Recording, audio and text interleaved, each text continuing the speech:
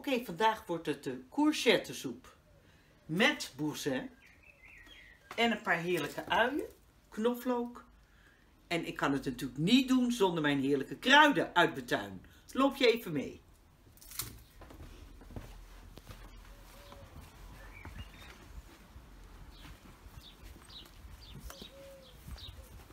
Er is één kruid die is uiterst geschikt voor het maken van soep. En dat is maggi. Dus ik ga even lekker wat maggi plukken. Ik denk drie takjes heb ik wel genoeg.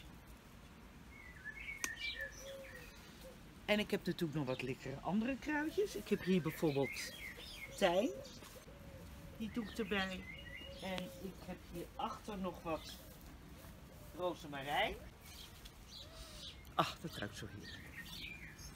En hieronder heb ik vast nog wat oregano. Zoals jullie zien is mijn tuin een georganiseerde puinhoop. Maar dat hoort, want dat is permacultuur. Daar mag alles gezellig om elkaar groeien. Ik heb een mooi kruidenboeket. Ik ga beginnen. Ik ga eerst beginnen met het snijden van de ui en de knoflook. Daarna maak ik van de courgette kleine blokjes. Meneer Boezin neem ik mee. En ik neem ook meneer Maggi mee. En dat doe ik altijd met de groentebouillon. Nou, dit zijn mijn ingrediënten. Natuurlijk altijd... Oh, we zijn alweer klaar. Dit zijn de ingrediënten. Natuurlijk ook altijd even peper en zout erbij. Anders is het niet compleet. En een hele fijne koekenpan. Dit wordt deze. Je begint altijd met een klein molenaarsmesje. Dus een ideaal klein mesje. Heel scherp. Waar je alles mee kan snijden wat hier ligt. Ik ga beginnen met de knoflook en de ui. Nou, ik heb van mijn koks, vroeger had ik een restaurant, heb ik geleerd dat je altijd je vingers zo moet houden, zodat je niet je kan snijden.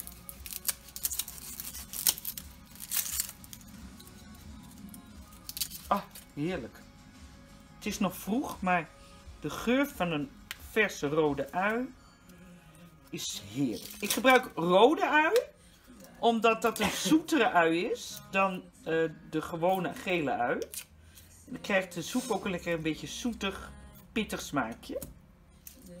Nou, ik snij nu ook even de knoflook. Dit is een ideale knoflook, want het is eigenlijk gewoon een aantal knoflookjes in één is een knoflookbolletje.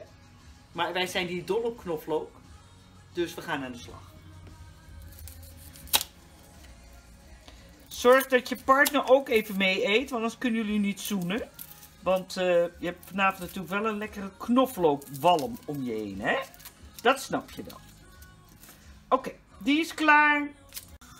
Oké jongens, ik heb de grote pan op het vuur. En lekker een beetje olijfolie. Kijk, zo wordt je fles toch ook weer helemaal leuk, hè? Zit je niet naar zo'n saaie fles te kijken. En dan doen we even, kijk maar even met me mee doen we even best wel wat uh, olijfolie erin. Ik heb hier de uh, knoflook en de rode ui gesneden. En dan ga ik die nu even lekker in de pan gieten.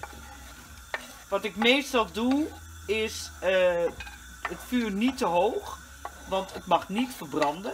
Knoflook wat verbrand wordt een beetje nootachtig bitter, dus we zetten hem wat zachter en we laten dit even lekker aanfruiten.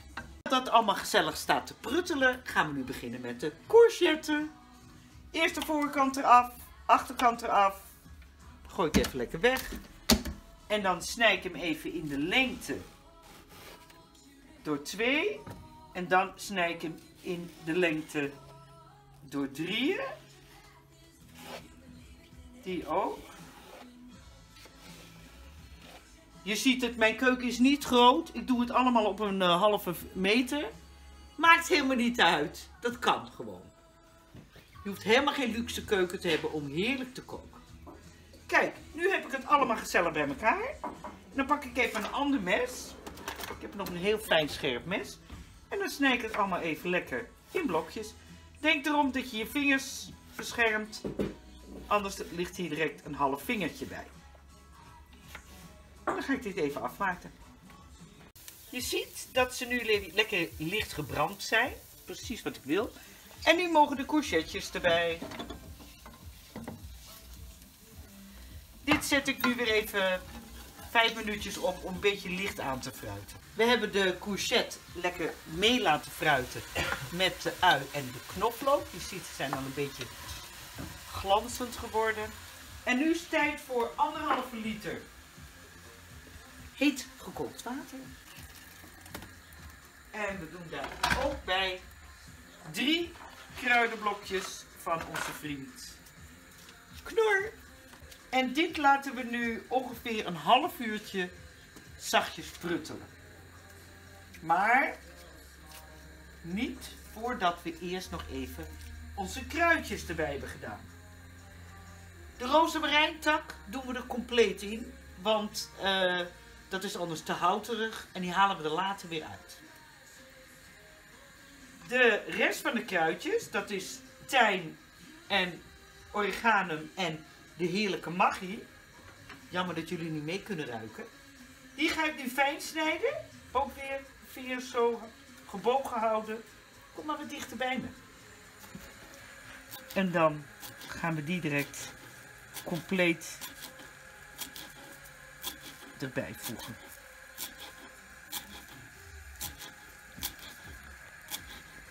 Een heerlijk kruidenrijk soepje wordt het, hè?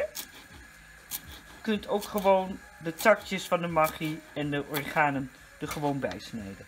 Hier hebben we nog een klein vrolijk tijmtakje. Die doen we er ook nog even bij. De tijm heeft ook een hard takje, dus je gooit even lekker weg. Oké, de kruidjes gaan erbij. Even lekker schuim. En dan laten we hem een half uurtje pruttelen. Bijna, mevrouw Bouzin, vergeten. Want zonder dit magische zachte kaasje is het soepje echt niet compleet. Ik heb het natuurlijk een beetje gepikt van internet, dat begrijp je. Maar ik doe het altijd een beetje op mijn eigen manier dan. Ergens stond de courgette met boursin. En toen ben ik verder daardoor op gaan borduren met mijn eigen verse kruidjes uit de tuin. En met eh, de uien en de knoflook. Daar gaat hij. En die smelt gewoon lekker in de pan. Direct is er helemaal niets meer van over. Maar die smaak ongeëvenaard.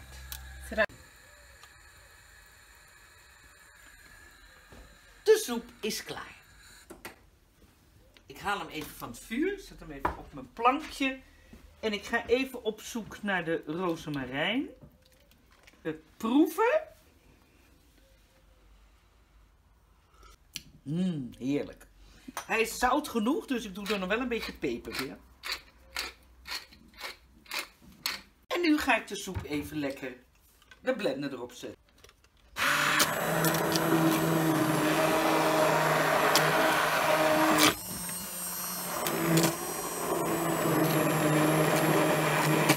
En dit is dan het eindresultaat van het heerlijke soepje. Het eindresultaat van het heerlijke soepje. Met courgette, uitje, knoflook.